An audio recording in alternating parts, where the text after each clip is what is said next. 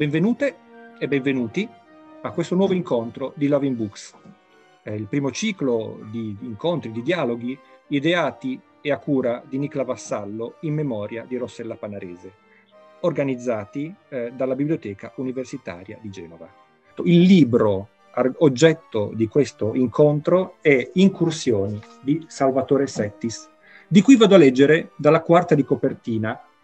che si tratta di un viaggio nel tempo e nello spazio dell'arte contemporanea per scoprire il suo legame, a volte sottile e altre volte turbolento, con la tradizione. Questo perché, come si, si legge ancora, possiamo forse scegliere i nostri padri, ma di un qualche antenato non possiamo certo fare a meno. Parliamo di questo, di questo volume insieme all'autore, a Salvatore Settis, archeologo, storico dell'arte, presidente del Consiglio Scientifico del Louvre, che ha diretto il Getty Research Institute for the History of Art di Los Angeles e la Scuola Normale di Pisa, Accademio di Lincei, dell'Accademia di Scienze di Berlino, Monaco, Torino, dell'Accademia Reale del Belgio, è fra i componenti fondatori del Consiglio europeo delle ricerche. Ha scritto di arte antica, di arte moderna, di politica culturale e non voglio dimenticare anche di politica ambientale. Penso anche agli ultimi volumi, eh, Paesaggio, Costituzione e Cemento, la battaglia per l'ambiente contro il degrado civile del 2019. È curatore della mostra e del catalogo I marmi di Torlonia, collezionare capolavori, capolavori eh, che è tuttora in corso. Con Salvatore Settis eh, sviluppa il dialogo Mariangela Bruno, storica dell'arte, che ha condotto studi in particolare sulla scultura del 6 e del 700, sulle dinamiche della committenza e del, del collezionismo genovese in età moderna. Eh, ha partecipato a convegni e curato iniziative, in particolare su, approfondendo l'iconografia religiosa fra il XVI e il XVIII secolo è anche responsabile degli eventi culturali della Biblioteca Universitaria di Genova. A loro lascio adesso la parola, la rete e auguro a noi tutti eh, di gustare questo dialogo. Eccoci, allora ben trovato Salvatore, grazie al direttore per la presentazione, ringraziamo anche a distanza Nicola Vassallo per aver creato questa occasione di Loving Books. Oggi ci troviamo, come dire, con questa tua ultima fatica uh, Salvatore che ti porta a fare delle incursioni, come denuncia anche il titolo. Ci vuoi raccontare il perché di questa, di questa scelta del titolo? Perché queste incursioni? Grazie Mariangela di questa domanda che eh, serve a introdurre un discorso su questo libro. Eh, il titolo è mio, non dell'editore, ma mio, l'editore però l'ho accettato molto eh, volentieri Feltrinelli, l'editore, eh, è un titolo che voleva segnalare nella mia intenzione eh, il, il, il, fatto che qui eh, io esco fuori dal seminato, cioè eh, non faccio l'archeologo come dovrei, come ho fatto per, eh, eh, come professore universitario, eccetera, non faccio nemmeno lo storico dell'arte, che so io del Rinascimento, mi sono occupato qualche volta di, in un libro, per esempio, su Giorgione e così via, ma ho, ho, osato sconfinare. Allora, questi, questi sconfinamenti, poi bisogna vedere se funzionano se non funzionano, ma lo sconfinamento era è, un, eh, è, è, quello che tiene insieme i dieci saggi di questo libro, è la prefazione che li introduce e, e,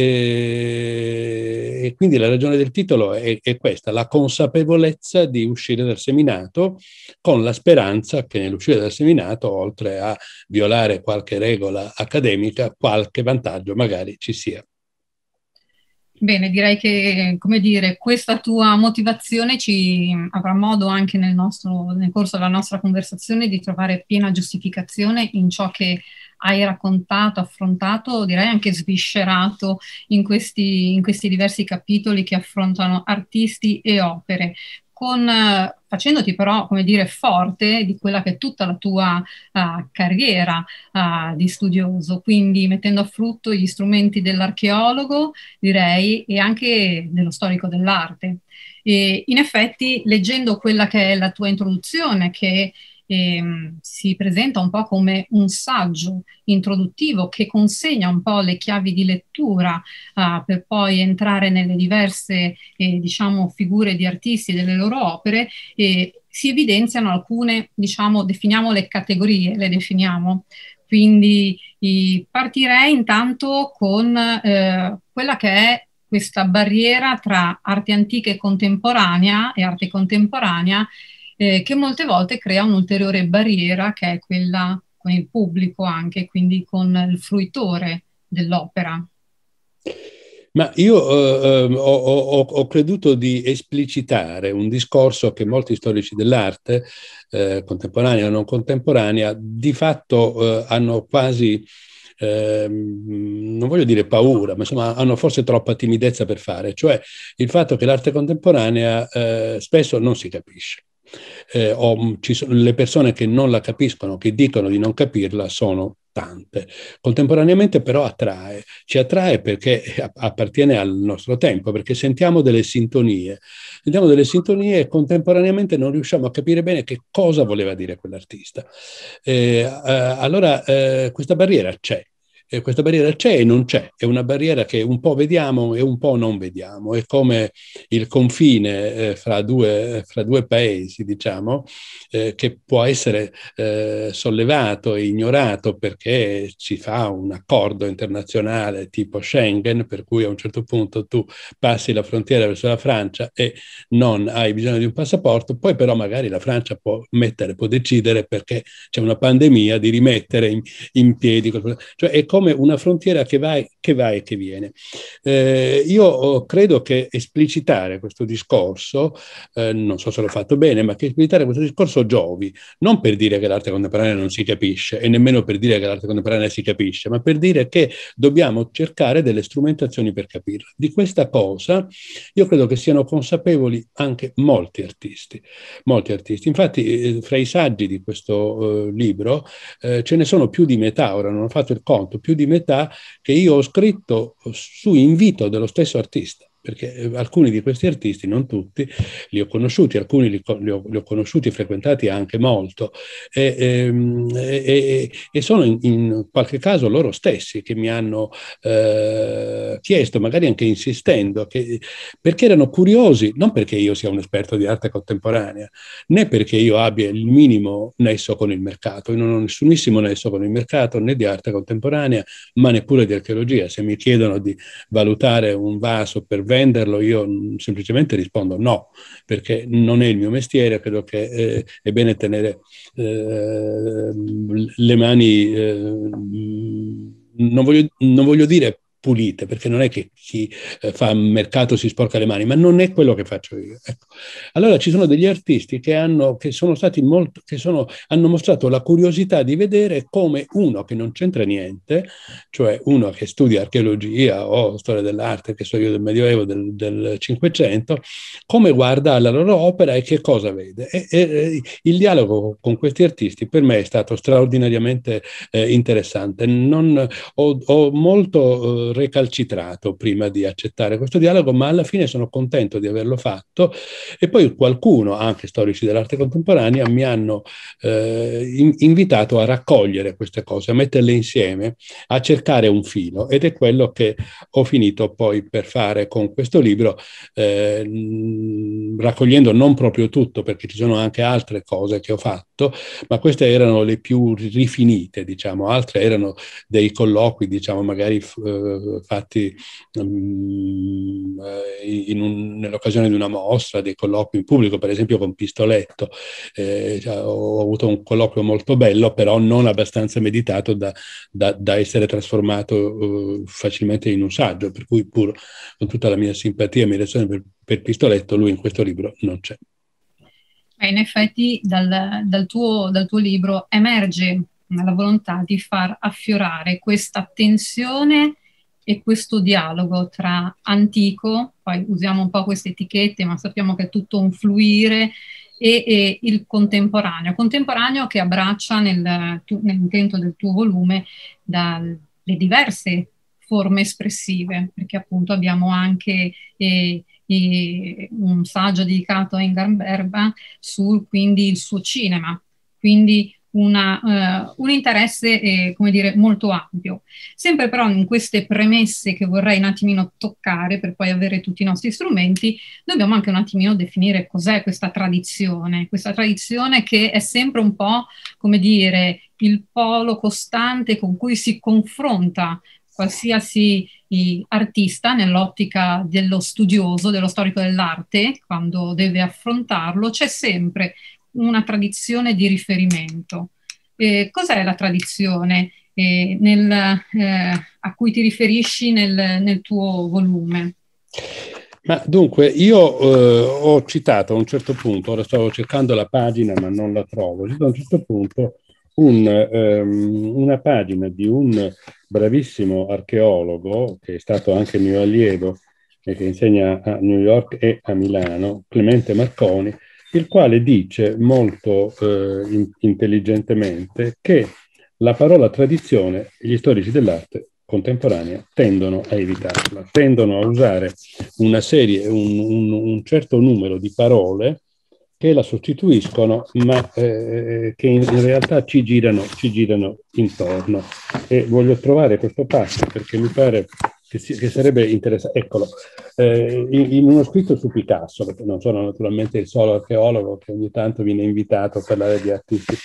eh, del nostro tempo. Clemente Marconi, ehm, eh, in un neutro ordine alfabetico, elenca delle parole come allusione, appropriazione, citazione, influenza, ispirazione, manipolazione, pastiche, prestito, riferimento, uso. Io mi sono divertito ad aggiungerne altre dieci parole a queste dieci e si può continuare. Ma allora possibile che sono tutte cose, è, è, vero che ci sono sfumature del tutto diverse, però non esiste forse un meccanismo, diciamo, che lega tutte queste cose insieme. Tu hai usato poco fa un'espressione che mi è molto piaciuta, tutto un fluire, tutto un fluire. Io credo che dividere, fare le divisioni che ci sono nei manuali, che ci sono eh, nelle cattedre universitarie, che ci sono negli anni di liceo, qualcosa del genere, fra arte antica, arte medievale, arte moderna, moderna, arte contemporanea, eccetera, è utilissimo e anche eh, lo stesso vale per la storia, per la letteratura, per la musica. È utilissimo perché se non facciamo delle, se non raggruppiamo non riusciamo mai a dominare. Però non dobbiamo perdere di vista il fatto che una, eh, nel momento in cui si passa dal, dal Medioevo all'età moderna, nessuno che viveva in quegli anni se ne è accorto. Cioè non è che eh, mettiamo che la, una delle, delle, delle, date convenzionali è 1492, non si sono nemmeno accorti che avevano scoperto l'America, figurarsi se si sono accorti che, eh, che, che, che era finito il Medioevo, so, è chiaro. Quindi c'è tutto un fluire, in questo tutto un fluire eh, esistono delle abitudini e queste abitudini sono le abitudini ai linguaggi. Eh, noi, per esempio, parliamo latino, cioè nostro, la lingua che noi stiamo parlando in questo momento è una forma eh, un po' mm, barbarizzata di latino. Un, se arrivasse sulla terra Cicerone, rispedito dal, dal, dal passato su un missile, su una macchina del tempo, mm, e, e, ci ascoltasse quello che diciamo, direbbe ma cosa mai stanno dicendo questi qua? Come mai non usano il, uh, l'accusativo? Però qualcosa capirebbe. Ecco, eh, eh, e questo, il, il, il la tradizione non va intesa come spesso spesso eh, si, eh, si, si, ritiene o si crede ingenuamente come eh, qualcosa di passivo. Non c'è la tradizione da una parte e l'innovazione da quell'altra. La tradizione è il, tram- è il tramandarsi delle cose cambiandole. Questo è eh, la, il grande insegnamento della storia. Perché non dovrebbe essere così anche per l'arte? Allora, eh, credo che esaminare eh, il, ehm, l'equilibrio fra quello che cambia e quello che resta eh, sia, eh, sia eh, una, uno del, dei, ehm, degli strumenti cognitivi di cui uno storico in generale, uno storico dell'arte in particolare, può e deve fare uso. Io nel parlare di tradizione, come ho scritto nel libro, ho usato, ho tenuto presenti soprattutto due modelli, naturalmente ce ne sono moltissimi, due modelli che a me sono entrambi eh, cari, quello di Warburg con, la sua, col, suo, col suo grande Atlante Mnemosyne, eh, con l'idea che, che, eh, che, aveva l'idea, che, che, nacque dall'idea di ehm, offrire una mappa della memoria culturale europea da un lato e dall'altro lato Schlosser ehm, che eh, con la sua idea di tradizione artistica eh, metteva l'accento sulle pratiche di bottega, sul fatto che ogni artista imparava nel Medioevo, ma in realtà anche oggi ogni artista impara dagli altri artisti, impara anche se non ha nessuna bottega, anche se eh, nasce da solo e produce le sue cose senza il minimo eh, riferimento a una scuola eh, o un'accademia costruita come tale, non può non avere negli occhi qualcosa rispetto a cui in qualche modo si propone. Quindi con questo uso, diciamo, duttile della parola tradizione, io ho provato in questo libro a fare i miei conti, che non necessariamente sono quelli degli altri. Quello che mi colpisce, peraltro, um, ho cercato un pochettino di scandagliare, come poi ti accennavo, i saggi, diciamo, un po' meno battuti di questo tuo volume. Ho seguito un po' tu, le diverse presentazioni che, che, hai fatto nel corso di questi mesi. E, e ciò che mh, mi è balzato molto uh, evidente è, è, questo aspetto di questa appunto mappa culturale che richiami di Varburgiana comunque memoria, eh, che peraltro, come giustamente tu sottolinei, mh, viene e il lavoro il, intrapreso da Warburg viene riportato in auge anche recentemente per iniziativa di artisti che ne comprendono la forza. Eh, e mh, questo oh, captare da parte degli artisti l'importanza di Barbo, ma al contempo captare anche, eh, come dire, la sintonia verso il proprio tempo e anche verso ciò che è passato, che al contempo è attuale perché continua a parlare e, si evidenzia in eh, diversi tuoi i, i scritti di questo volume. E, e quindi i, guardavo appunto mh, proprio quello di Bruskin, questo artista sovietico, eh, che fa un'operazione di estremo interesse, eh, un lavoro sulla memoria, attraverso quel suo lessico che mette a punto oh, fondamentale, che è eh, una, un'astrazione, una eh, serialità che viene a creare eh, astraendo quelle immagini di quelle sculture che vedeva da bambino proprio sotto casa e che a contempo hanno quel carico anche dell'immaginario delle teorie dei santi, della pittura uh, ortodossa che in Russia si vedono ancora oggi nelle immagini delle icone. E ti chiedo un pochettino oh, come ti sei avvicinato all'opera di Bruskin e quindi eh, questa tua indagine usando il metodo archeologico eh, per la sua opera che quanto mai, come dire, appropriata. Ma intanto io vorrei dire che ehm, eh, ci sono, ehm, un, c'è un certo numero di artisti contemporanei, io in questo libro ce n'è solo uno, cioè eh, Bruskin, eh, che fanno dell'archeologia l'oggetto dell'arte. Cioè non ne, non ne estraggono delle cose, ma fanno delle operazioni fingendo di fare archeologia. Per esempio eh, i, i, i, coniugi Poirier, che io ho conosciuto anche bene, che sono stati a Arghetti quando io ero direttore per un anno, i coniugi Poirier hanno inventato degli scavi in città inesistenti hanno inventato le, delle piante, degli oggetti, delle cose. E, ehm, Bruskin fa un, un, un'operazione diversa, quasi opposta, che però è un'operazione archeologica. Lui deve essere stato particolarmente bersagliato nella sua infanzia nella Russia sovietica da educatori molto occhiuti, i quali imponevano a questi poveri bambini eh, dei modelli di comportamento senza pietà e gli dicevano tu devi essere un buon ingegnere, un buon medico, un buon maestro, un buon eh, agente del KGB o qualsiasi altra cosa. Per, per ogni mestiere c'era l'idea eh, di, una, di, una, eh, di, una, di una figura ideale, un modello da seguire assolutamente. Ognuno doveva essere perfetto in quello, in, in quello che faceva. Allora lui a un certo punto, negli anni anteriori alla, alla, alla, alla, crisi che poi ha portato alla fine dell'Unione Sovietica, anche prima della caduta del muro di Berlino, cioè prima del 1989, lui ha cominciato, aveva fatto altre cose, prima cominci- gli è venuta in mente di prendere ciascuna di queste figure ideali, la maestra mh, perfetta, eh, il medico perfetto, eccetera, eccetera, e di trasformarle in figurine in figurine eh, come eh, fossero le figurine dei santi eh, che in certe icone eh, di tradizione bizantina e dunque anche russo-ortodossa eh, si allineano nei cosiddetti menologi, cioè in quelle icone che nello spazio di un quadro solo tengono i santi di ogni mese, quindi almeno 30, anche di più, e, e, tutti uguali e riconoscibili dalle, dalle, eh, dal, da, da, dai loro attributi.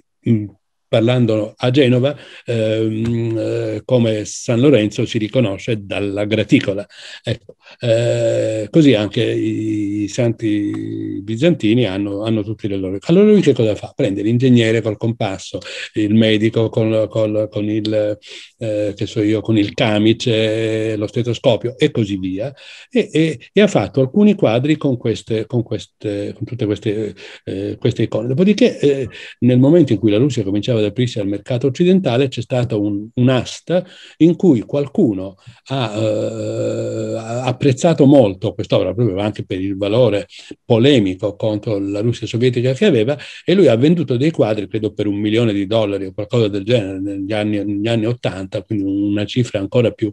eh, ancora più enorme di quanto non sia oggi, e lui è diventato improvvisamente famoso in Russia e fuori. Poi però ha sviluppato questa cosa, si è trasferito altrove, l'Unione Sovietica è caduta, ma la sua ossessione continua.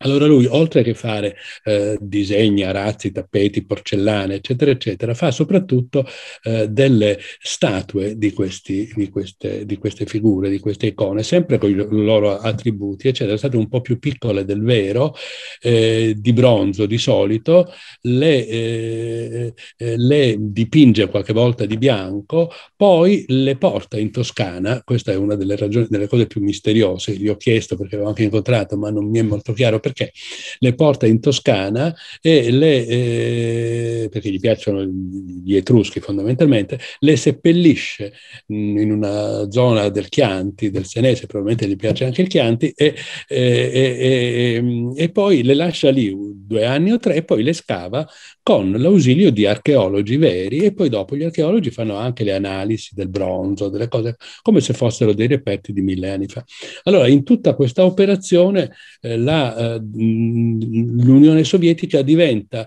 eh, come una specie di objet trouvé, come qualcosa che appartiene, come se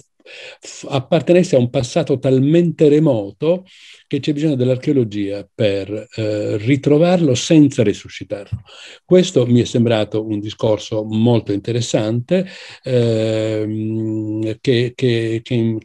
che mi pareva valesse la pena di esplorare in eh, questo senso. Eh, quando gli ho chiesto eh, perché la Toscana, lui mm, ha girato la domanda e mi ha detto ma in realtà non, non tanto la Toscana, l'Italia, perché l'Italia c'era l'impero romano, poi c'è stato l'impero bizantino, poi la terza Roma e Mosca. Quindi lui l'ha girata un po' così e, e, mm, e non so se è tutto qui o se c'è qualcos'altro. Gli artisti sono molto eh, eh, renitenti a dire quello che veramente pensano e fanno anche bene.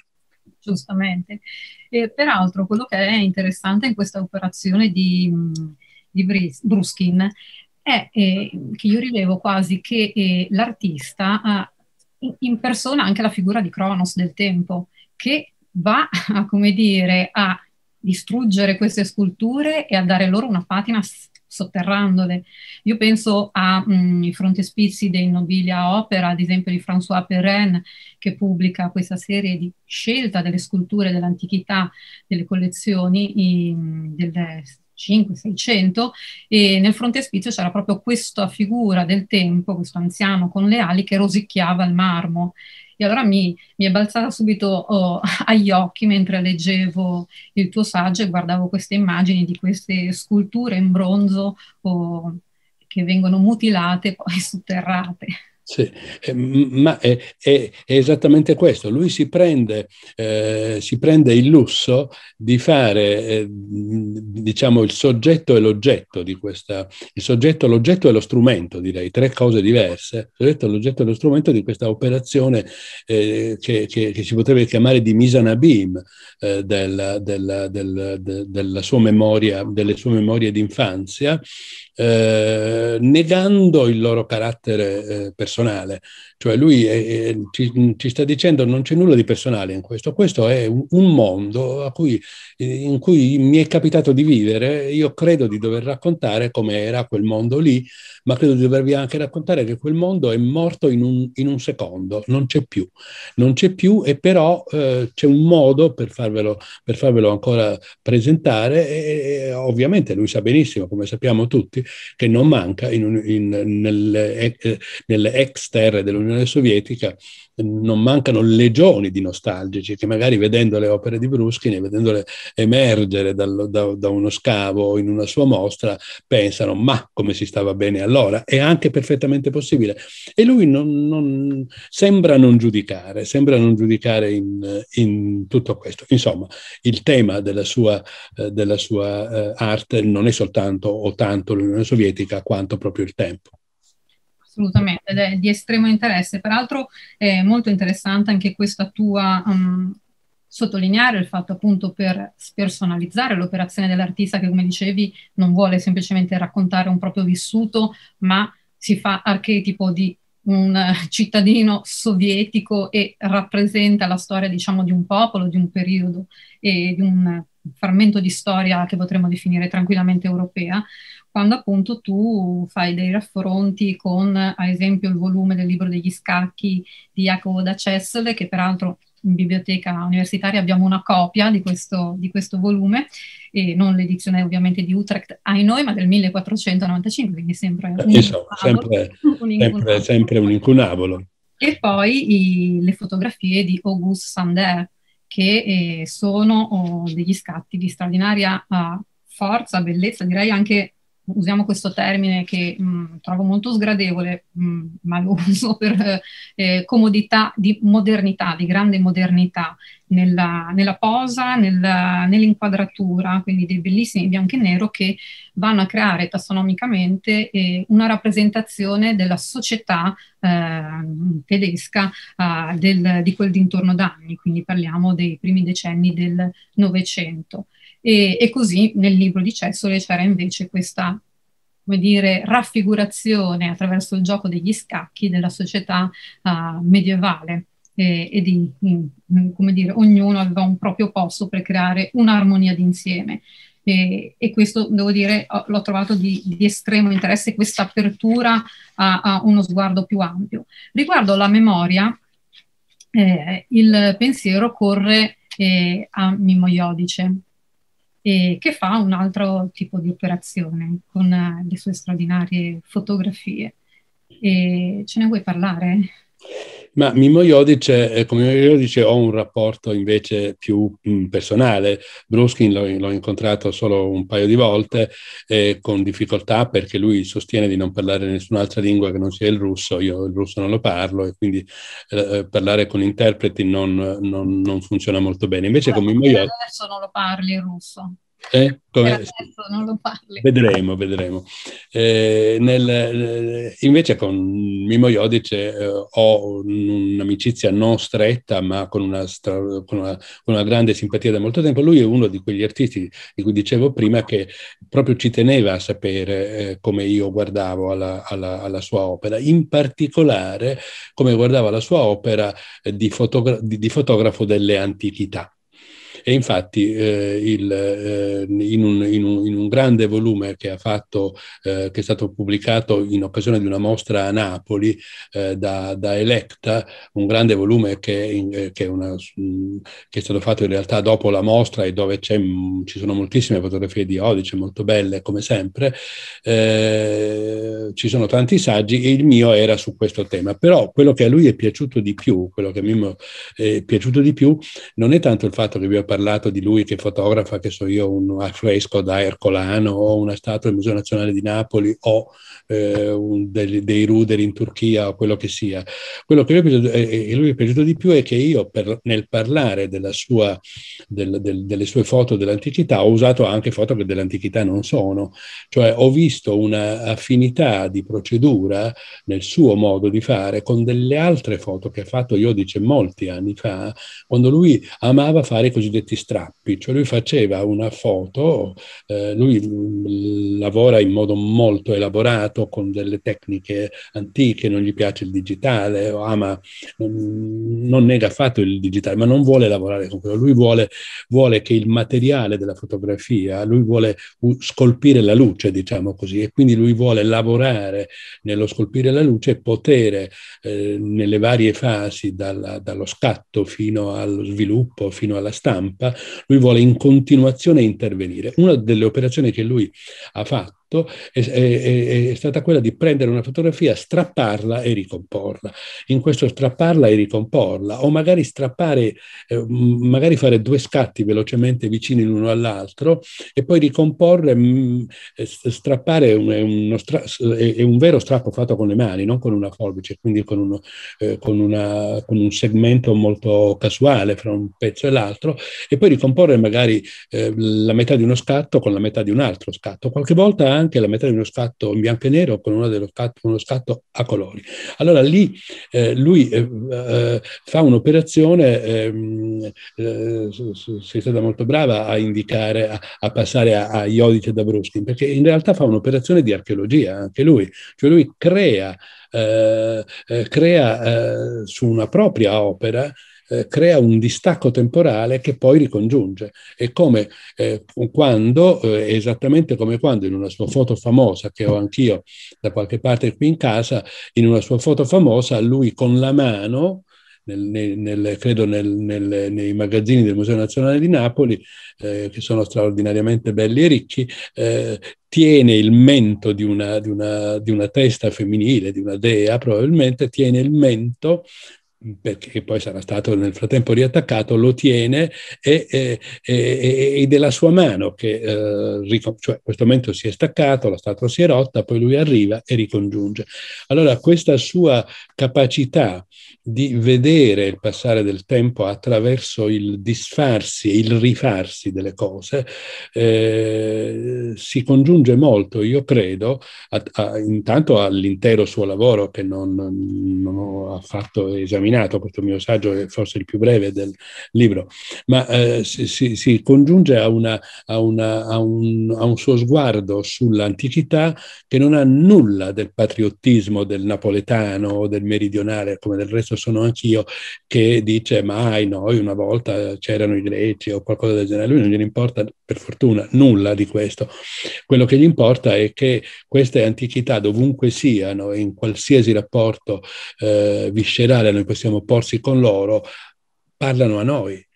sono di esseri umani come noi che parlano a noi e tutto il processo che hanno subito da allora ad ora, ad ora di disfacimento, di restauro, giusto, sbagliato che sia, di pulizia, di sporcizia, è, un, è qualcosa che descrive la biografia di quel particolare oggetto, ma anche la biografia delle persone che se ne sono eh, occupate, da chi lo ha fatto a chi lo ha rotto,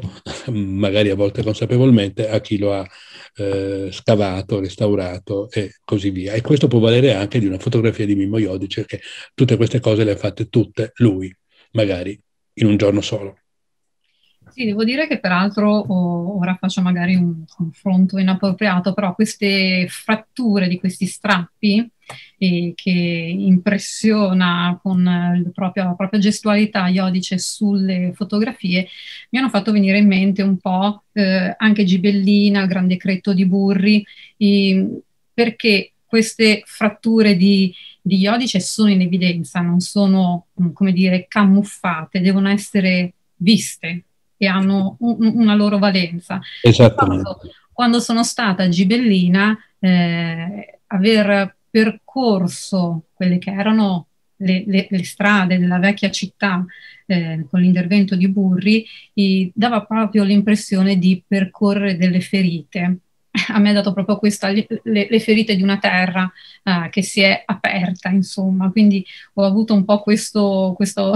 ricordo, uh, visto che si parla anche di, di richiami, di mappe nostre, di nostre visioni che si aprono, come diceva anche Schlosser, ne abbiamo accumulate nel corso del tempo. E, e ciò che eh, trovo di straordinaria efficacia anche questo discorso che tu fai eh, su un'archeologia che non è vista in maniera passiva, ehm, idealizzata, distante, ma in maniera molto presente eh, da parte di Iodice. L'intervento che dicevi straordinario della mano che accosta il frammento al volto della, della statua, ma anche eh, pensavo all'immagine dell'anfiteatro romano di Capo, a questa soglia, con questa mh, mm, fotografia che crea questo movimento, eh, tra virgolette una foto sporca, non è eh, una perfetta messa a fuoco, che crea l'idea di un movimento, di un varcare la soglia, di un entrare, attraversare uno spazio che diventa attuale, insomma, e che è molto presente e stringente al nostro presente. E, ehm, da, da Iodice eh, io, oh, come dire, salto a Ingmar Bergman, perché, come dire, qui leggo il fil rouge del, del racconto dell'antico in maniera differente. Eh, Iodice appunto ha questa sua dimensione, invece in Bergman c'è una archeologia, come dici tu, del rito, del, che è il titolo poi del film che Bergman realizza, gira nel, alla fine degli anni 60. Che cosa ci dici di questa straordinaria figura del suo lavoro? Ma lui è uno degli artisti di cui si parla in questo libro eh, che non ho mai incontrato purtroppo e mi piacerebbe molto, eh, ma non, non, mi è mai capitato, né lui mi ha mai chiesto e, e probabilmente non mi avrebbe mai chiesto di occuparmi del suo film. L'ho, l'ho visto allora, ho scritto una prima versione di questo saggio nel 1974, l'ho trovata per caso in fondo a un cassetto mentre eh, già correggevo le credo le prime bozze di questo libro e l'ho inserito, l'ho completato questo saggio dopo con una distanza di decenni eh, e credo che gli abbia giovato mm, rifarlo adesso con più distacco. E perché mi sono occupato di questo, di questo film? Non è soltanto come si potrebbe pensare perché volevo che in questo, parlando di arte contemporanea, ci fosse anche la fotografia, io dice ci fosse anche il cinema, eh, Bergman e ci fosse anche come c'è la videoarte Bill Viola, ma perché proprio quel film, quel film mi aveva molto intrigato allora. È un film singolarissimo eh, dove c'è un vero e proprio rito, eh, la cui matrice dionisiaca è molto chiara, molto evidente dal film stesso. È come una specie di rifacimento in Svezia da parte di un gruppo di attori che fanno la parte degli attori, che, di un gruppo, cioè ci sono degli attori anche molto noti che fanno gli attori di, una, di, un, di, un, di un, piccolo gruppo che fa degli spettacoli e viene accusato di oscenità. Eh, in, eh, c'è un giudice che li accusa, sono pochissimi personaggi, tre attori, un giudice, non c'è nessuno, poi a un certo punto c'è un confessore, questo giudice si confessa perché i luterani hanno la confessione, cosa che eh, ho imparato allora, non lo sapevo sapevo, ma eh, la, la, la, la, variante luterana del protestantesimo ha conservato la confessione come nella Chiesa cattolica e questo, questo confessore è lo stesso Bergman unico caso in cui Bergman compare in un suo film e parla, eh, quindi eh, anche questo era molto singolare e ri- rivela il suo coinvolgimento.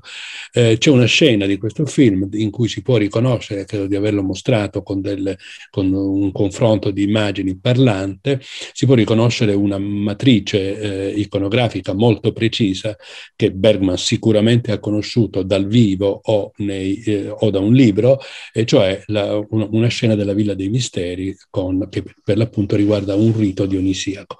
Allora, eh, vabbè, questo però eh, uno può dire, eh, eh, e con ciò Bergman ha usato un, uh, un'immagine, un'immagine di, di uh, uh, Pompei, che male c'è e che cosa comporta. Allora io invece credo che questa immagine sia la chiave per entrare in un mondo molto più complesso, che è il mondo del dionisismo degli anni 60. Il, il, il film fu fatto fatto eh, diffuso fra il 67 e il 69, cioè negli anni, intorno al 68, per, eh, cioè negli anni in cui le baccanti di Euripide eh, riaprono improvvisamente di colpo, a cominciare da un garage di New York dove si fecero delle famose recite, riaprono di colpo la fortuna del, non solo di quella tragedia, le eh, baccanti stesse di Euripide, ma dell'intero teatro greco. Eh, si è sempre fatto un po' di teatro greco anche nelle università, eccetera, però la grande fortuna nuova del teatro greco, che dura ancora, nasce in quegli anni. Perché il dionisismo? Perché il dionisismo era collegato eh, con l'idea della ehm, infrazione violazione delle regole, con l'idea della trasgressione, con l'idea di non accettare le regole, con l'idea che c'è qualcuno, con l'idea che qualcuno, un individuo che arriva può essere Dioniso cioè può essere il Dio che cambia la comunità in cui entra, che poi, eh, che poi, anche, eh, che poi l'idea anche alla base di un film dello, dello, stesso esatto periodo, e cioè Teorema di Pasolini, dove anche lì, anche lì c'è un piccolo numero di personaggi, arriva questo personaggio che non si sa se è un angelo, un dio o qualcosa, ma arriva eh, e, e, di fatto cambia la vita di tutti perché, eh, perché, la sua duttilità e la sua capacità di, di, entrare in sintonia anche sessuale con tutti gli altri, uomini o donne che siano, è, è una, um, un, un, dato, un elemento della sua, della sua stessa essenza. Allora, eh, frugando e lavorando in, quel, in, quel, in, questo, in questo ambito, la struttura del film diventa molto più, eh, molto più più evidente è la stessa presenza del rito. È singolarissimo che un regista come Bergman, che certamente ama i riti, anche nel posto delle fragole c'è il rito della laurea honoris causa del professore tal dei tali, eccetera. Però un, un rito di, di, duemila anni fa mm, non è molto facile immaginarselo nella Svezia dove templi di Dioniso non ce ne sono stati mai. E quindi eh, cercare di ricostruire quel mondo e di vedere quali, eh, quali ehm, eh, eh, meccanismi innesca in noi eh, questa antichità di secondo grado. Per un archeologo come me, che le baccanti di Euripide le ha lette, potrei dire quasi da bambino, obbligatoriamente, perché uno che studia, che studia le lettere classiche, come ho fatto io, le doveva leggere, come eh, purtroppo le tragedie greche sono così poche che si possono leggere tutte, eh, vorrei che ci fossero tutte le altre, ma non ci sono, eh, ma il, il, il, rivedere anche la, trage- la, tragedia greca attraverso l'effetto che può fare eh, questo, questa trasgressione estrema, la madre di Penteo che dilania il proprio figlio senza accorgersene, eh, il, il, giudice del film di Bergman che di fatto mentre deve giudicare per oscenità questi attori ne è straordinariamente attratto e alla fine si offre come vittima. Allora questa, eh, questa dialettica fra la suprema, eh, la, trasgre- eh, la, la trasgressione come suprema manifestazione della libertà del vivere però attrazione verso il morire. Questo è una, una, una, un, un, marchio di quegli anni eh, che però forse è ancora degli anni nostri, io non posso dirlo, sono troppo vecchio per sapere come la pensano i, eh, le persone della tua età o ancora più giovani, ma credo che da, da, da allora ad ora questo, questa sorta di eh, contraddizioni o di convivenza di due sentimenti o di due emozioni opposte eh, ha fatto mh, parte di questo, eh, di questo, animo dilacerato che eh, a, a volte chiamiamo con una parola che vuol dire ben poco modernità. Peraltro, mh, appunto, mentre leggevo il tuo libro, mh, come ti ho anticipato anche nel nostro incontro precedente, questo libro è una palestra per la testa che stimola veramente a informarsi, a conoscere e a guardare altri rimandi. E quindi ho, ho guardato un po' diverse anche interviste di Bergman perché mi ha molto incuriosito come, come personaggio e, e, c'erano alcune cose che mh, erano emerse. E, beh, intanto il discorso che negli anni 70 uh, la RAI lo aveva contattato o si era messo in contatto con lui per fargli girare eh, il film sulla passione di Cristo. Lui voleva peraltro ambientarlo in Svezia e sicuramente avrebbe avuto una visione molto laica e i funzionari RAI rimasero un po' interdetti di fronte a questa visione proposta per cui eh, ripiegarono, tra virgolette, su Zeffirelli, che era forse più consono con le scelte che loro avevano in testa. Eh, altro aspetto che mi, mi, era molto piaciuto di, di ciò che lui dice e, è che parla di questa importanza della luce nei suoi film, eh, esalta questo suo collaboratore eh, dicendo che è il migliore assolutamente nella, nell'ambito cinematografico, perché dice che la luce era questa parte integrante e che um, poteva dare quasi una sensazione acustica, uh, esaltando quindi gli stati d'animo. Ed è di nuovo questo un aspetto che trovo molto interessante, anche perché eh, mi sono riguardata un po' la scena appunto anche del rito e il gioco che ha uh, la luce è, è, estremamente importante anche, mh, mm, come dire, come sappiamo nel racconto poi del, del rito stesso, dove l'immagine eh, del, della maschera dorata si riflette nel vino sangue, eh, che ha questa metamorfosi, insomma. E, e poi eh, un altro aspetto oh, che mi aveva colpito è che mh, mm, parla del meccanismo della creazione artistica dove dice mh, mm, che sostanzialmente eh, ci sono, um, lui diceva che c'erano dei dettagli insignificanti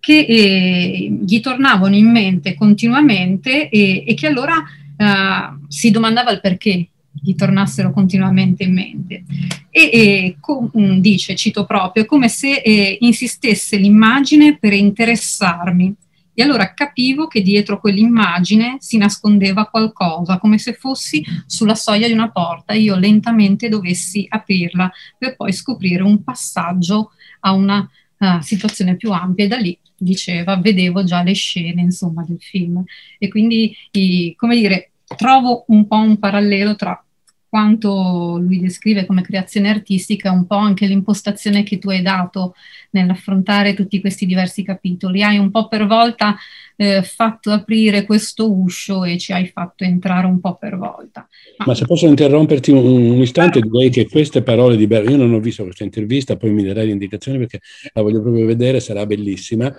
eh, ma eh, eh, quelle parole di Bergman che tu hai citato sono una meravigliosa definizione di quello che io ho cercato di intendere per tradizione. Cioè uno vede qualcosa, vede, una, vede un, come una pagliuzza che brilla nel buio, eh, aguzza lo sguardo e trova l'oro e questo oro lo riusa in qualcosa che vuole scrivere o che vuole filmare. E in riferimento alle parole, quando dicevi Breskin, Bruskin ha detto qualcosa, ma sai, gli artisti non si vogliono far capire più di tanto, lui dice anche questa cosa, che non bisogna cercare di capire i suoi film, eh, ma di mh, mm, viverli i, un, con la propria sensibilità. E fa, mh, mm, cita proprio una frase di Stravinsky, e, e anche questo l'ho trovato, come dire, molto interessante. Ma non è finito il mio interrogatorio, Salvatore. Andiamo avanti. E, mm, in questo oh, eh, racconto eh, che tu fai eh, del, del, mondo contemporaneo artistico che ci circonda, c'è la figura poi di Giuseppe Pennone, che è una figura straordinaria, devo dire. Ehm, ho visto diverse sue opere e effettivamente è forse una delle artistiche, delle personalità artistiche più importanti a mio avviso del, dell'Italia per la sua capacità di intervenire e per la sua proposta che è di estremo interesse, che a un primo sguardo può essere molto banalizzata, in realtà c'è un percorso oh, eh, estremamente eh, eh, significante del, del, suo lavoro, del suo intervento e del suo rapporto con, con la natura, un dialogo. Eh, tu peraltro fai un bellissimo preambolo al, al saggio dedicato a Penone, eh, partendo da quella che è la concezione del mondo antico dell'albero, quindi facendoci un po' approcciare ad avvicinare a, anche a una sensibilità uh, che può toccare eh, un artista che si avvicina a, a questi esseri viventi. Eh? E, Cosa, cosa ci dici di, dell'opera di Penone? Intanto come lo hai conosciuto, eh, Penone? L'ho conosciuto, sì. Ah. L'ho, conosciuto, l'ho conosciuto in questa occasione perché non lo conoscevo prima. Eh, mh, era un caso in cui io ero eh, simultaneamente attratto dalla sua opera, ma non, sap- non mi ero mai, mh, mai mh, proposto di spiegare il perché ero attratto perché un'opera, eh, una, questi suoi alberi che reggono, che so io, un grande masso sulla cima, sono talmente impressionanti che eh, dovunque tu li veda, in un campus eh, americano, in una piazza di Roma, eccetera, eh, fanno una grandissima impressione. Però non mi ero... Mm,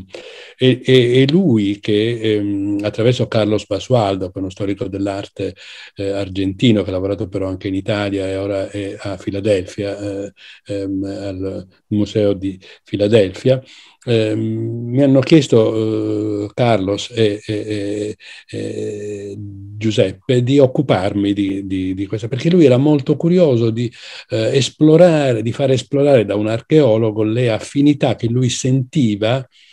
oscuramente di avere con l'arte antica.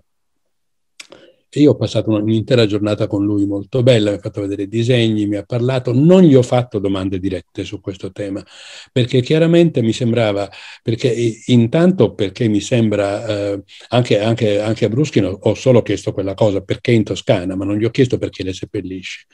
eh, gli ho chiesto solo perché in Toscana. E agli artisti che ho conosciuto non ho mai fatto domande dirette, perché credo che il, il loro compito, quello di chi si occupa di loro, sia diverso strutturalmente diverso. Eh, mh,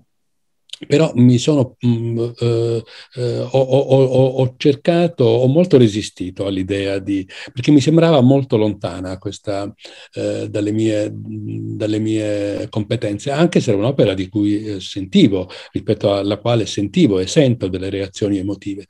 Riflettendo su questo, poi ho pensato a qual era la difficoltà. E la difficoltà era resta, credo, per molti, il fatto che il legno, che è la materia principale che lui lavora, ne lavora anche altre, ma il legno è da sempre una materia della scultura. È da sempre, non è che il legno sia, non, è, non è una grande novità scolpire negli alberi, ma che cosa fa lui? Lui non è che scolpisce negli alberi, lui prende l'albero e eh, prende un albero che ha, non so, 200 anni e eh, ci scava dentro quel, eh, su, sulla base degli anelli di accrescimento eh, quello che era lo stesso albero 122 anni fa, cioè eh, ancora una volta lavora sul tempo e infatti credo che quel mio saggio si chiami Scolpire il tempo. Ecco, e, oppure prende un albero e fa una scultura di bronzo di quell'albero, dopodiché lo mette in un bosco accanto ad alberi simili a quello e uno che passeggia per quel bosco se non lo tocca non si accorge che è un albero diverso dagli altri alberi. Allora, questa, eh, il, il, il, fatto che l'albero sia diventato, eh, che l'albero, che il legno dell'albero sia, sia diventato non più eh, diciamo, eh, la materia della scultura, ma il soggetto della scultura, come una persona come una persona. Allora questo mm, mi ha aperto tutto un, un mondo che poi ho applicato ad, anche ad altre cose, come lui usa le spine di acacia, come lui usa i sassi, eccetera, eccetera. E, e, e, e, allora lì ho colto quella che credo che sia una delle ragioni della sua grandezza nel nostro tempo, e cioè eh, con grande acume e molto precocemente, eh, non so esattamente quanti anni ha, credo quasi quanti ne ho io, quindi, a, a, a, quindi avrà più di 70 anni, eh, suppongo, qualcosa, un... Nel 47 del 47. Ecco. Eh, quindi, eh, ma molto presto lui ha colto quello che eh, oggi invece è diventato un tema della filosofia, un tema dell'antropologia, cioè l'interconnessione. L'inter- il fatto che eh, è vero che noi siamo esseri umani, è vero che noi abbiamo la capacità, che so io, di fare questo discorso, mentre gli alberi non fanno questi, questi discorsi, eh, non lo fanno, che so io, i, i i cani o le tigri m, o le zanzare, ma eh, tutti gli esseri, gli esseri viventi eh, eh, e, in realtà anche gli esseri non viventi, anche i sassi, anche, anche le acque, eccetera, eccetera, sono interconnesse. Questa interconnessione vitale eh, dà alla, eh, alla, alla presenza umana nel mondo e anche alla nostra responsabilità rispetto al mondo un altro spessore. Allora credo che la scultura di Penone, perché lui è scultore, eh, anche quando fa delle cose che potrebbero sembrare più pittura, per esempio questi grandi occhi fatti con spine di acacia, eccetera, è scultura, e credo che lui la consideri tale, ci sono i, i suoi disegni che eh, evidentemente non sono scultura, ma sono eh, collegati a questa sua stessa visione, io credo che facciano parte di questa, eh, di questa eh, protoecologia, cioè lui un, eh, eh, ha cominciato a ragionare in un senso che oggi chiameremmo ecologico, ma non per stare a una moda ecologica, ma per, un, per l'istintiva affinità che eh, lui eh, ha, ha, ha, provato e prova e che credo dovremmo provare tutti eh, con un mondo eh, di, di, di, piante, di animali, di, di, sassi, di fiumi, eccetera, eccetera, che, ehm, che, che, che, poi il mondo in cui noi viviamo. Allora è, è, è, per questa ragione che quando ho cominciato a occuparmi di questo ho pensato di partire proprio eh, di rispondere un po' scherzosamente alla, a, a, questa cosa che lui non mi ha detto mai personalmente, ma me l'ha detta attraverso Carlo Spasualdo, che lui si sente affine alla scultura antica e, e, usando proprio, parlando proprio di Xoana, cioè di queste statue di legno di cui parlano le fonti antiche, che erano, dicono eh, le eh, fonti eh, classiche, eh, che erano la forma più a, a, arcaica della scultura greca. Dedalo, il prototipo dello scultore greco, scolpiva nel legno. E siccome di questi Xona naturalmente non, non ce ne sono più perché, sono, perché, il legno non regge, ho riprodotto invece i, i tre soli che ci sono, che sono, si sono trovati in Sicilia, eh, perché in una fonte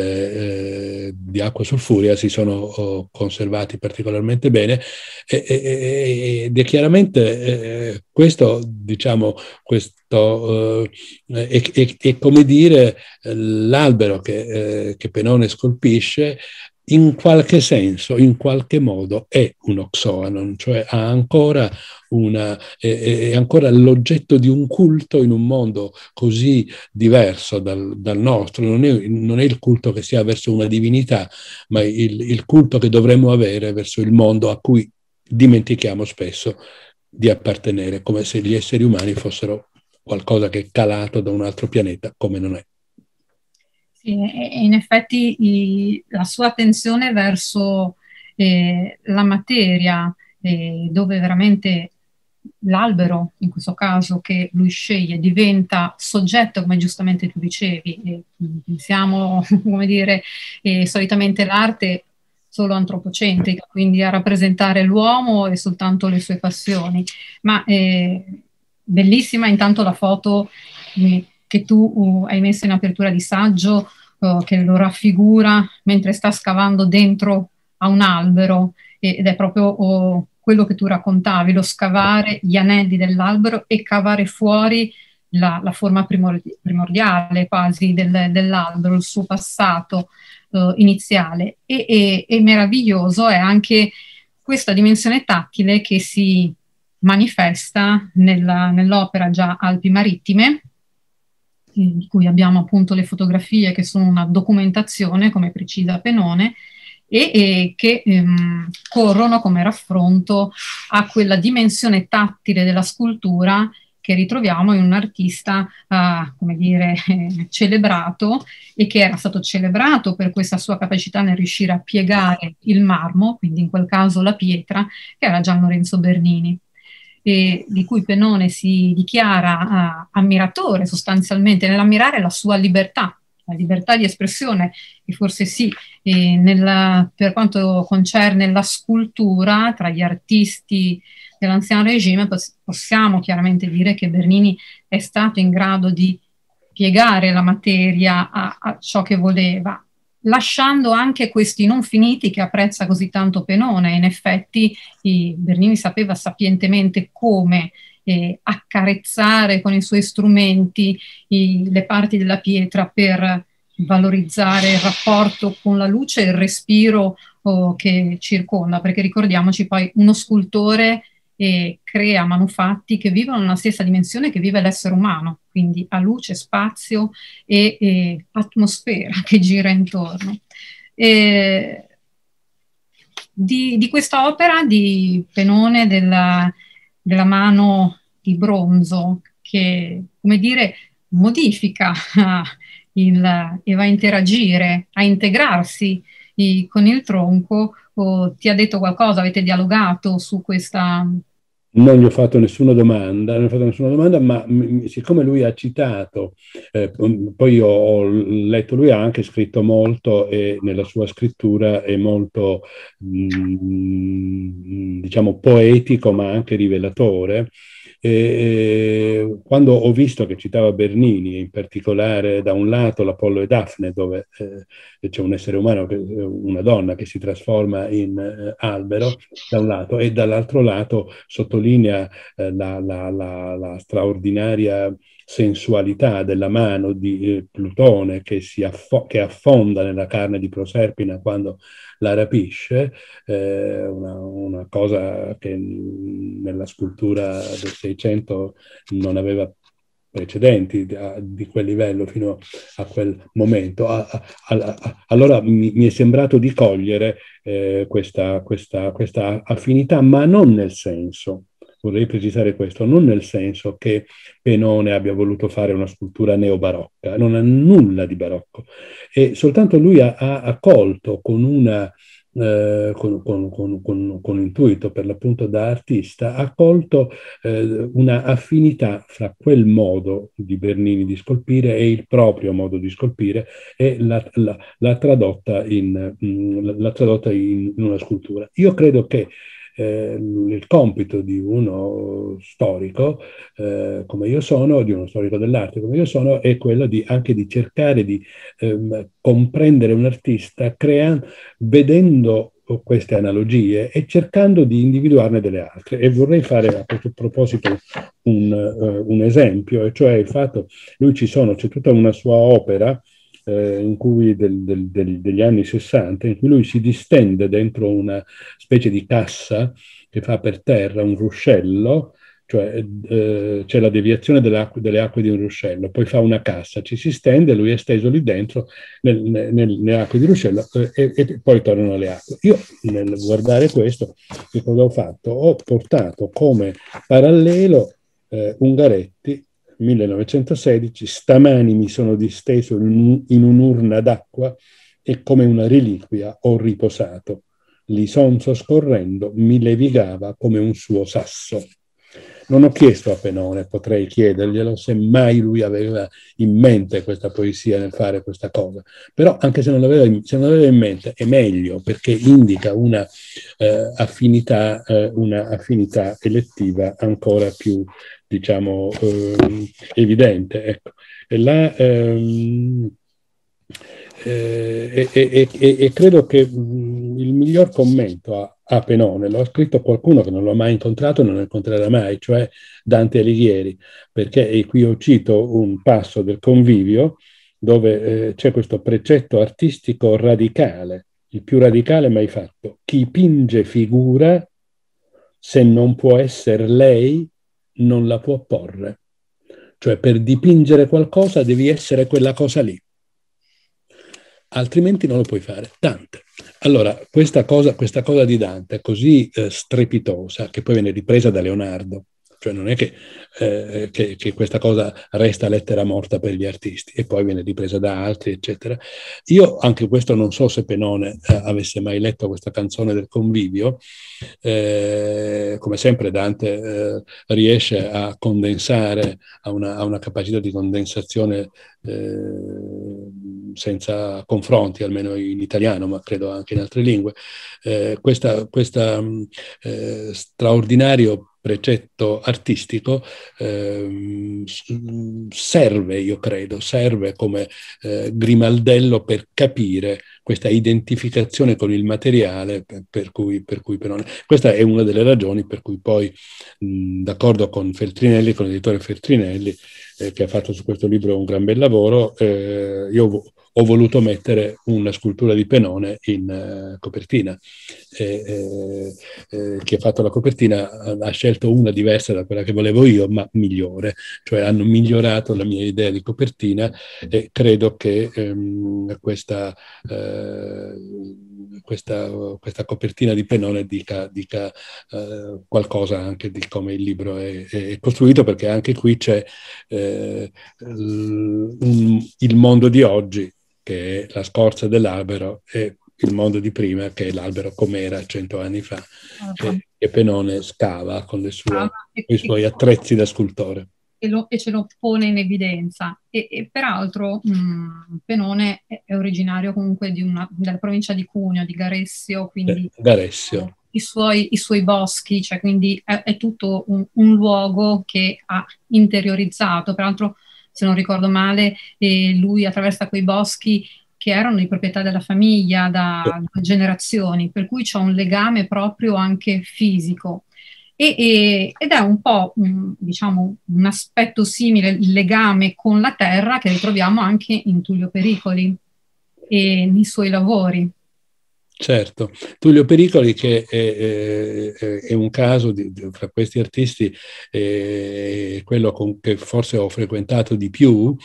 insieme con Bilbiola, devo dire, ma insomma anche con, con Tullio c'è un'amicizia fraterna da anni. Eh, lui ha, mh, pur vivendo la maggior parte dell'anno a Milano e avendo lasciato le sue marche natie da molto tempo, è molto legato alla terra ascolana, da cui viene, ha una bellissima casa in, in, non molto distante da Ascoli, dove eh, sono stato varie volte, e eh, il principale tema della sua eh, ehm, arte, eh, oltre a tante, in realtà lui ha fatto tante altre cose, ma quello di cui mi sono occupato in questo, in questo libro sono i paesaggi, paesaggi che sono ehm, eh, non, non, proprio sempre, ma quasi sempre paesaggi delle Marche, e paesaggi lui, ehm, in cui lui ripercorre eh, la terra terra, eh, diciamo, dando matericità alla, alla, alla, uh, ai colori, eh, non sono disegni, è una, è una pittura non piatta, è, è, una pittura dove lui eh, stende il colore e poi ci lavora con, eh, non so, spazzolini da denti, spazzolini di eh, delle, eh, spazzole oppure insomma matite, anche matite, cioè scava, lui scava e credo che questo suo scavare nella materia pittorica eh, sia nella sua intenzione, nella sua esperienza, ehm, una, uh, un, un, ripercorrere uh, generazioni di eh, persone, eh, di marchigiani, ma non solo di marchigiani, naturalmente di, eh, di, persone, contadini o non contadini, che hanno camminato, che hanno arato, che hanno, eh, che hanno ehm, eh, usato quella terra per farla fruttificare. E, ehm, questo sua, eh, sua mh, mm, approccio esperienziale alla, alla pittura ha però questo di bello, che riesce a fartelo capire. Cioè tu vedi le sue pitture e eh, se le osservi in una fotografia distrattamente puoi non accorgerti di questo, ma se le osservi da vicino, c'è stata recentemente ad Ascoli Piceno una bellissima mostra con molti dei suoi, dei suoi ritratti che ho avuto il piacere di vedere proprio con lui, e, ehm, eh, tu entri, eh,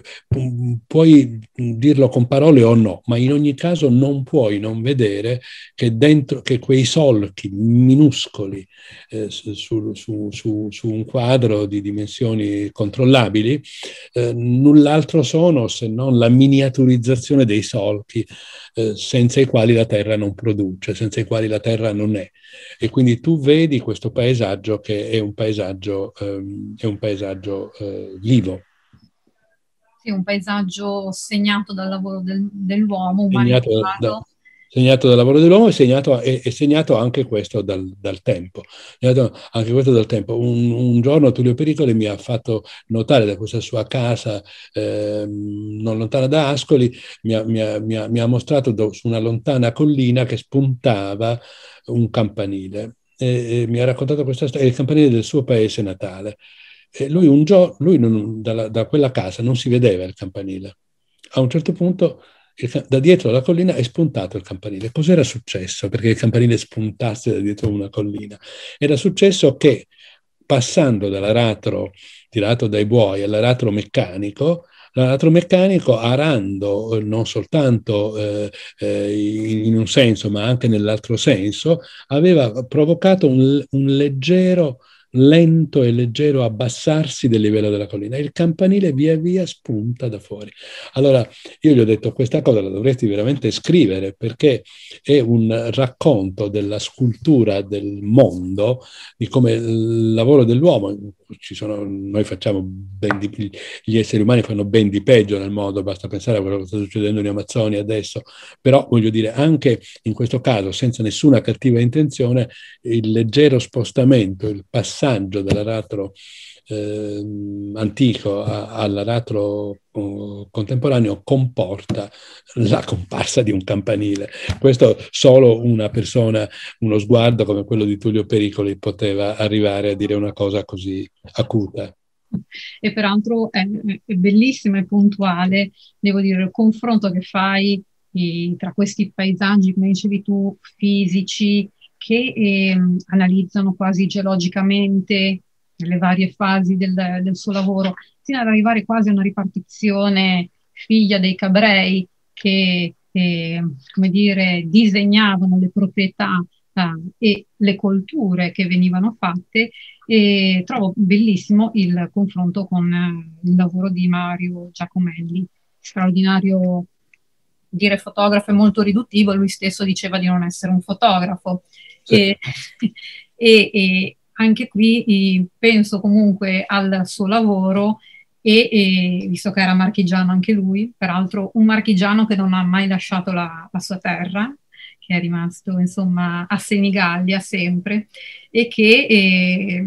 leggevo oh, eh, nel suo operare, nel suo fare le fotografie, che non erano una semplice rappresentazione del dato naturale, eh, interveniva pagando il contadino per, fargli, per arare il terreno e poi fare i suoi scatti, per cui faceva un'operazione quasi di land art in contemporanea poi agli anni in cui si faceva. Si faceva land art. E, e, poi anche questo rapporto con, con, Burri che si viene a creare, visto la loro conoscenza, effettivamente quei paesaggi di Giacomelli hanno una tensione emotiva, una carica drammatica che in pericoli non abbiamo assolutamente e che e, e ritroviamo peraltro lo stesso spirito, direi anche nel suo ultimo volume, con i, i ritratti che fa a parole invece che eh, disegnando. Eh, e i suoi ritratti, penso alla serie dedicata a Samuel Beckett, e anche lì ha un lavoro veramente di un volto che si fa eh, paesaggio, un paesaggio della memoria, delle memorie dell'individuo. Sì, sì, sì, è quello, quello di, di, Tullio Pericoli si può dire che per lui i paesaggi sono volti e i volti sono paesaggi. Eh, questo, questo, senza dubbio è così. Della sua eh, affinità con Giacomelli, che lui ha, eh, ovviamente conosce molto bene, di cui ehm, conosce il lavoro molto bene, di questo io invece con lui ho parlato, ma non so se, non credo per una mia domanda, ma credo che me l'abbia proprio detto lui e sicuramente questo eh, è, è assolutamente vero, la sua affinità con, uh, con Giacomelli è vera. La drammaticità nel, nei, nei, nei, nei, quadri di Tullio Pericoli ricorre qualche volta, in particolare negli anni dopo il, il, che quelle terre sono state afflitte dal terremoto. Allora lì si vedono, lì si vedono città, lì eh, si, si, si, vedono città franare, terreni franosi, ma non capisci se quello che tu stai vedendo è la terra che sta franando, le case che ci sono sopra o un misto del, dell'una e dell'altra cosa. Vedi una, una, un, un, mondo che, che, è in trasformazione e, e, sicuramente anche in altri paesaggi c'è la, la, la, la sensazione di una, di una civiltà eh, agraria che eh, si sta lentamente eh, e qualche volta non tanto lentamente eh, consumando. Concluderei questa nostra conversazione eh, con Leda Inceppi e quindi con eh, Dana Schatz, giusta la pronuncia? Eh, sì. Che è questa giovane artista uh, americana, nata nel 1976, che, eh, a cui tu hai dedicato il, l'ultimo saggio che chiude il tuo, il tuo, libro e che appunto parla di una Leda in ceppi partendo da un'opera che ha avuto un grande impatto ehm, e che è, estremamente significativo secondo me anche per eh, capire un attimino intanto l'importanza, la valenza che hanno ancora le opere d'arte, le immagini, il loro potere. E, e al contempo un po', come dire, eh, ci pone di fronte a delle questioni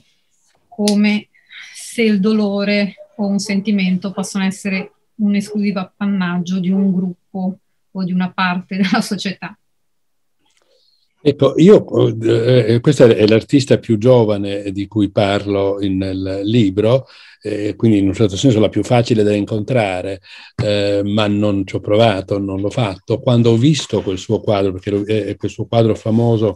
eh, che, che, si chiama Open Casket e che rappresenta il eh, cadavere sfigurato di un ragazzo eh, di colore che era stato picchiato selvaggiamente da alcuni bianchi.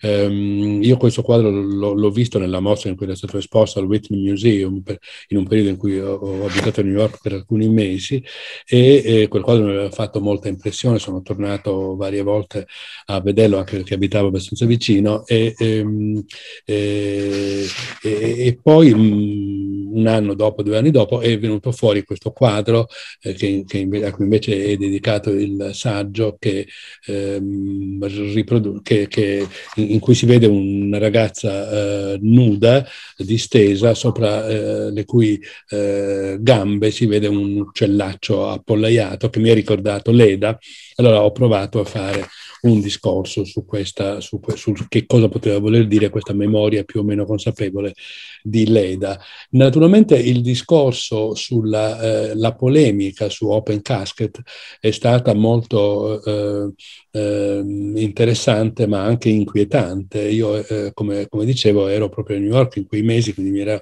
molto facile anche, anche seguirla, perché c'è qualcuno che ha detto eh, non aveva il diritto di rappresentare questa,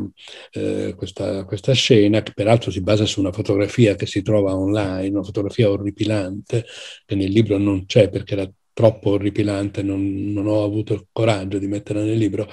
eh, mh, mm, eh, eh, ma ci, ci, sono degli artisti di colore che hanno detto eh, ma eh, lei come Bianca non ha il diritto, non aveva il diritto di rappresentare questa, questa cosa, come del resto ehm, c'è anche qualcuno nella fattispecie una storica dell'arte svizzera, che però, in quanto svizzera non riesco a capire come faccia questo discorso, ha sostenuto che eh, Kentridge non ha il diritto, in quanto bianco, di parlare del, de, dell'apartheid in Sudafrica, eh, di cui suo padre, avvocato, che ho anche conosciuto, è, è stato uno di quelli che hanno combattuto di più contro l'apartheid. Allora, io credo che se ragioniamo in questo modo, se ragioniamo in questo modo che le emozioni eh, devono appartenere eh, al, all'etnia che, eh, della, della, della persona che è stata colpita, allora io non potrei dire mai nulla per deplorare l'olocausto in quanto non sono ebreo. Che cosa vuol dire questo discorso? Non vuol dire assolutamente nulla, io credo. Però il fatto che nel nostro mondo dei discorsi di questo genere abbiano cittadinanza induce a riflettere e piuttosto che arrabbiarsi e, e protestare contro, contro, gli altri bisogna eh, a, a, ascoltare con, con, eh, con pazienza e, e contro-argomentare. Dana Schatz ha, ha fatto, eh, intanto la direzione del Whitney Museum ha rifiutato di togliere il quadro dal, dalla, dalla, dal muro come, eh, come avevano chiesto a queste persone. Eh, per qualche giorno si sono messi lì davanti in modo che non, non, lo, non lo, si poteva vedere, perché, perché, loro stavano sempre davanti, poi si sono stufati, se ne sono andati, il quadro si è visto. Lei è stata accusata di aver sfruttato il dolore di quella famiglia per eh, proprio vantaggio per vendere il quadro e lei ha, ha, dichiarato che non lo venderà mai e quindi da quel quadro non guadagna un centesimo. Però, insomma, eh, anche questa è una risposta debole, perché uno potrebbe dire, però è diventata famosa per quella cosa lì, invece io credo che sia un artista molto interessante, a prescindere da quel quadro, e anche questo, questa leda, questa leda eh, che, eh, questa questa possibile leda che, o, o, su cui è, è, è, scritto poi questo brevissimo mio testo, ehm, credo che dimostri la sua capacità di, di, di, di digerire eh, eh, i materiali visuali che vengono eh, dalla sua esperienza, in un caso è una fotografia, in un altro caso potrà essere un quadro o un affresco per, mh, per fare un, un, discorso che riguarda il mondo di oggi. Nel, nella fattispecie credo che eh, questa Leda eh, così con gli occhi spalancati, aperti, che guarda fisso il pubblico e che eh, sta mostrando il massimo della consapevolezza con un uccellaccio appollaiato sulle gambe, sta parlando della violenza di cui le donne sono spesso fatte oggetto di solito da, da, da, parte dei maschi, quindi credo che sia un po' questo, anche se naturalmente la violenza eh, di Zeus a Leda aveva nel mondo antico altre, altre eh, connotazioni, però si presta moltissimo a un discorso come questo. Assolutamente. Niente, cosa dire? Che questo è un libro mh, mm, molto bello, molto interessante, uno di quei libri da sfogliare e leggere anche a più riprese, direi e io ti ringrazio Salvatore per averci concesso questo tempo, queste parole e ti invito, come dire, in presenza al più presto per poter parlare di tante altre cose e ti ringrazio veramente di cuore. Sono io che ti ringrazio, ringrazio te, la Biblioteca Universitaria di Genova che ha organizzato questo incontro, Nicla Vassallo che lo, lo ha voluto e, e chi ci ascolta. A presto allora. Presto.